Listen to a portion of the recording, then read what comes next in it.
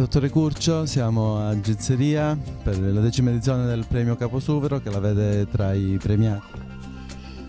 Sì, è una, bella manifestazione, ormai penso sia la decima edizione e quindi il messaggio che lancia è assolutamente positivo, quindi tutto ciò che è positivo è rilevante per questa terra.